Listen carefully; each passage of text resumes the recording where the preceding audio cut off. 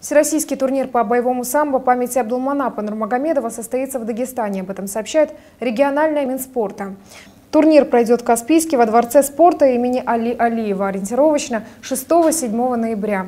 Напомним, Абдулманапа Нурмагомедова не стало 3 июля этого года. При жизни он принимал активное участие в организации всероссийских и международных турниров на территории Дагестана. В том числе по его инициативе в 2018 году в Каспийске состоялся чемпионат Всемирной Федерации боевого самбо.